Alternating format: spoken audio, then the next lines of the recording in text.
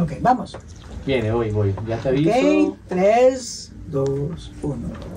Es una típica historia de amor mal comprendido de los años 80, básicamente.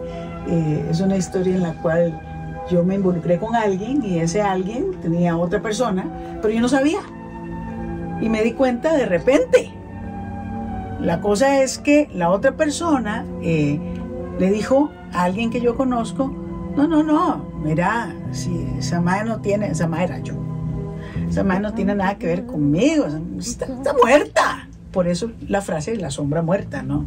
Eh, porque yo a ultranza quería eh, seguir con esta persona, pero bueno, no me dio bola. Y al final terminé siendo la, la, la segundona y me aburrí ¿no? de serlo, pero fue muy difícil porque el aceptar estar eh, de segunda, ser la parte que no, de la que no comentas, la parte de quien no hablas, quien no existe en tu vida, ¿no? Eh, es, es, es complicado. Y por eso es ese, ese- esos gritos al final, déjame, ¿no?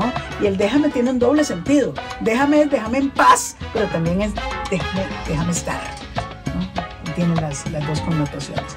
Pues sí, creo que todos hemos tenido ese momento patético en el cual eh, queremos estar con alguien que no quiere estar con nosotros.